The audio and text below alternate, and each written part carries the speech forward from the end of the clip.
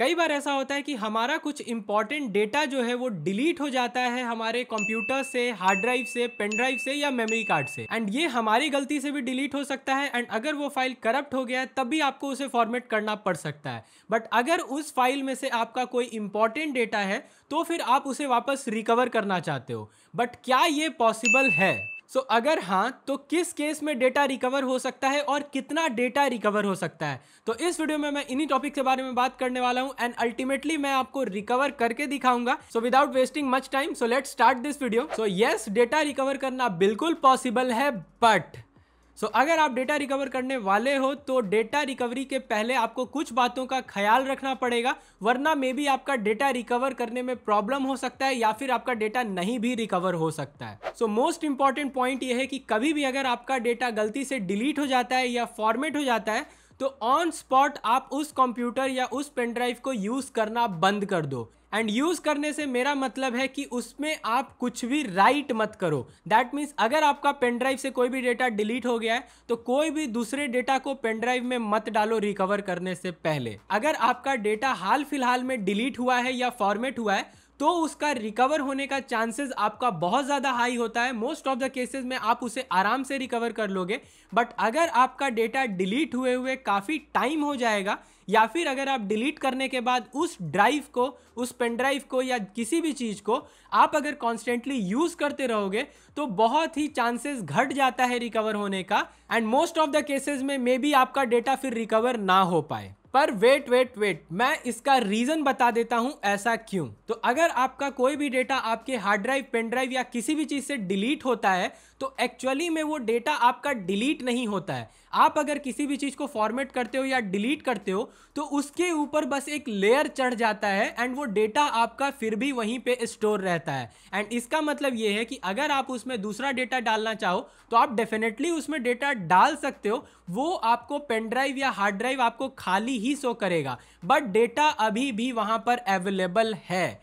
पर सिर्फ़ तब तक, जब तक कि आप उस पर कोई दूसरा डेटा नहीं डाल दो। आप जैसे ही उसमें दूसरा डेटा डाल दोगे, आपका पिछला डेटा जो है वो ओवर हो जाता है। तो जैसे ही आपका डेटा ओवर हो गया, उसके बाद वो रिकवर करना नियरली इम्पॉसिबल हो जाता है। सो सेकेंड पॉइंट आता है कि कुछ ऐसे मेथड्स हैं जिसके कारण आपका पेन ड्राइव या हार्ड ड्राइव को रिकवर नहीं किया जा सकता है। मतलब कोई कोई ऐसे मेथड अवेलेबल हैं जिसके कारण आप चाहो तब भी आप डेटा को रिकवर नहीं कर सकते हो।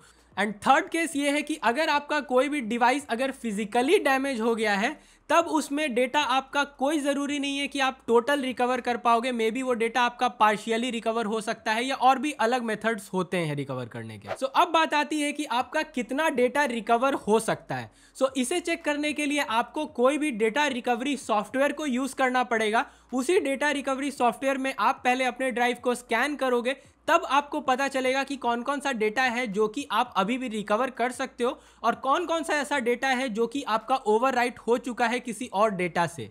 तो जो आपका ओवर नहीं हुआ है वो सारे डेटा को आप रिकवर कर सकते हो। सो so, वैसे मार्केट में बहुत सारे ऐसे डेटा रिकवरी सॉफ्टवेयर है बट इस वीडियो में जो सॉफ्टवेयर मैं यूज़ करने जा रहा हूँ वो है वंडर शेयर का recover it but before that इसके पहले कि आप पूछो कि ये सॉफ्टवेयर फ्री है या पेड है सो so, यस yes, ये सॉफ्टवेयर पेड है गाइज़ बट इसका एक रीज़न है कि मार्केट में जितने भी सॉफ्टवेयर अवेलेबल हैं जो कि आपका फ्री में डेटा रिकवर करता है वो सॉफ्टवेयर बिल्कुल भी इफ़ेक्टिव नहीं होता है almost most of the cases में उस सॉफ्टवेयर से आपका डेटा रिकवर नहीं होता है तो डेटा रिकवर एक डेलिकेटेड चीज़ है तो उसके लिए जितने भी सॉफ्टवेयर आते हैं ऑलमोस्ट सारे के सारे पेड हैं सॉफ्टवेयर तो पेड है बट एक्चुअली ये पेमेंट आपको सॉफ्टवेयर यूज़ करने के लिए नहीं करना है, इस पेमेंट को आपको करना है अगर आप डेटा रिकवर करना चाहते हो तो। अगर आपको उसे डाउनलोड करना है तो आप उसको वेबसाइट से डाउनलोड कर सकते हो। आप अपने कंप्यूटर को, लैपटॉप को, पेन ड्राइव को, किसी भी चीज़ को स्कैन भी कर सकते हो और प्रीव्यू भी कर सकते हो कि कौन कौन सा डेटा आपका रिकवर हो सकता है और कौन सा नहीं हो सकता है। एंड अगर आपको दिखाई देता है कि जो डेटा आप रिकवर करना चाहते हो वो अवेलेबल है तब जाकर आप उसको पेमेंट करो एंड उसके बाद आप उसको बाई करो एंड आप रिकवर कर सकते हो। अदरवाइज़ अगर आपको डेटा नहीं मिलता है जो आपको रिकवर करना है तो आपको कोई बाई करने की ज़रूरत नहीं है। एंड साथ ही अगर आप चाहो तो इस सॉफ्टवेयर में आपको 100 एम डेटा फ्री में रिकवर करने का ऑप्शन मिल जाता है तो आप चाहो तो 100 एम तक फ्री में रिकवर कर सकते हो। एंड आई नो 100 एम बहुत ज़्यादा नहीं होता है बट अगर आपके पास कोई बहुत इंपॉर्टेंट डॉक्यूमेंट्स है या कुछ फ़ोटोज़ हैं तो आप चाहो तो उसे एटलीस्ट रिकवर कर सकते हो फ्री ऑफ़ कॉस्ट उसके लिए आपको कुछ भी एक्स्ट्रा पे नहीं करना है। एंड अगर आपको बहुत सारा फ़ाइल को रिकवर करना है अनलिमिटेड जीबी रिकवर करना है तो उस केस में फिर आपको पेड सॉफ्टवेयर बाइक करना पड़ेगा। सो so, ये Recoverit software one of the best software है इन मार्केट एंड इस रिकवरिड सॉफ्टवेयर को मैं इसीलिए यूज़ कर रहा हूँ बिकॉज़ इसका जो प्राइस है वो as comparatively to other software थोड़ा कम है। सो so, ये है वेबसाइट रिकवरिड सॉफ्टवेयर का। सो so, ये सॉफ्टवेयर आप देख सकते हो विंडोज़ के लिए भी अवेलेबल है और मैक के लिए भी अवेलेबल है। एंड यस गाइज़ इस वेबसाइट का लिंक मैं नीचे डिस्क्रिप्शन में डाल दूँगा तो अगर आपको क्लिक करके देखना है तो आप क्लिक करके देख सकते हो। सो so, ये आपका मैक विंडोज़ दोनों के लिए अवेलेबल है एंड आपको यहाँ पर नीचे और भी कुछ इन्फॉर्मेशन देखने को मिलेगा जैसे ये सॉफ्टवेयर आपका थाउज़ेंड प्लस फाइल्स पे काम कर सकता है। मतलब अलग अलग जो फ़ाइल टाइप होता है, उस पर यह वर्क कर सकता है। इससे आप किसी भी तरह का स्टोरेज मीडिया को रिकवर कर सकते हो। जैसा कि मैंने आपको बताया, चाहे वो कंप्यूटर का हार्ड ड्राइव हो, pen drive, memory card, external hard drive, आपका कुछ भी हो, आप इससे रिकवर कर सकते हो, including your mobile phone. And बाकी और भी यहाँ पे कुछ इन्फॉर्मेशन दिया हुआ है तो अगर आप पढ़ना चाहो तो पढ़ सकते हो वैसे कोई पढ़ता नहीं इतना। सो so, नेक्स्ट आते हैं इंपॉर्टेंट पॉइंट पे प्राइस सो so, इस सॉफ्टवेयर का जो आपका प्राइस है वो तीन सेक्शन में डिवाइडेड है एसेंशियल्स स्टैंडर्ड या फिर एडवांस तो तीनों का अलग अलग प्राइस है ये आपको पर ईयर के अकॉर्डिंग भी मिल सकता है। आप चाहो तो इसे लाइफ टाइम के लिए भी बाइक कर सकते हो। उसका आपका अलग प्राइस है तो आप चाहो तो one month plus lifetime के लिए आप इसे बाइक कर सकते हो।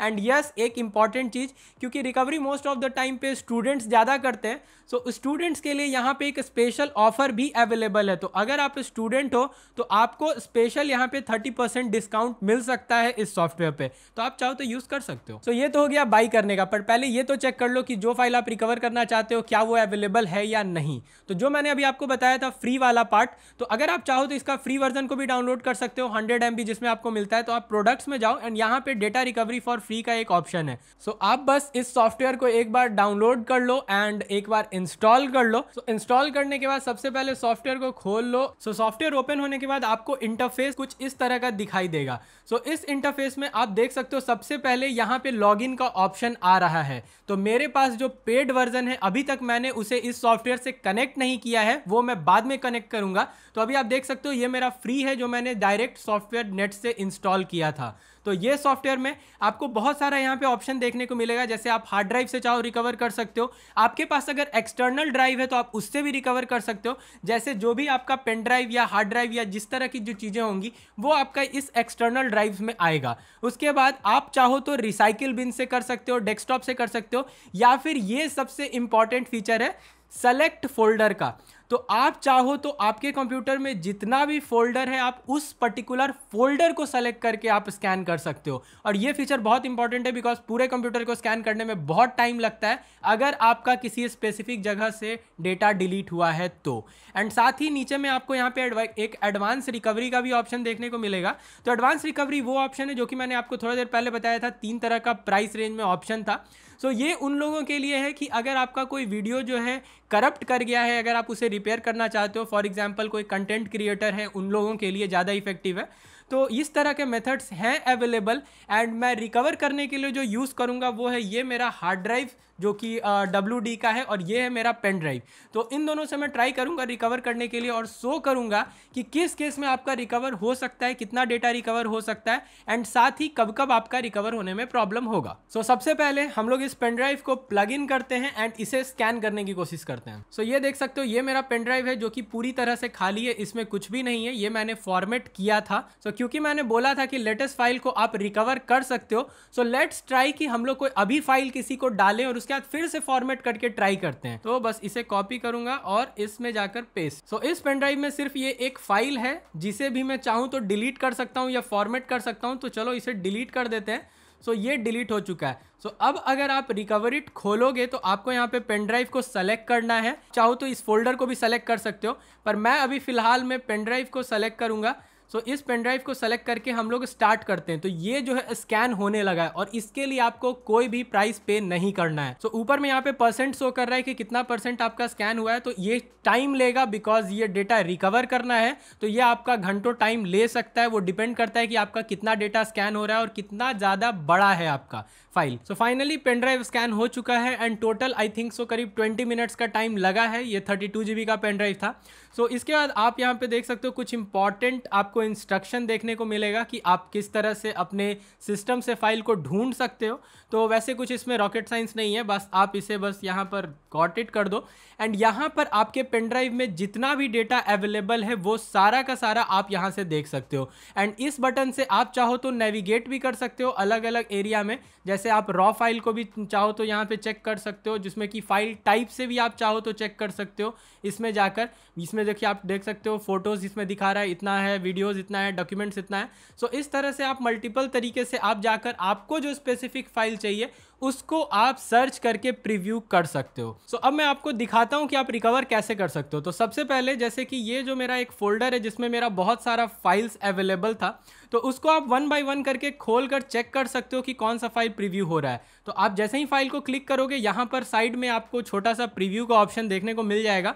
बट अगर आप इसे डबल क्लिक करोगे तो ये आपका बड़े साइज़ में प्रीव्यू होगा। ये फ़ोटो अभी तक ओवर नहीं हुआ है। आप चाहो तो इस फ़ोटो को रिकवर कर सकते हो।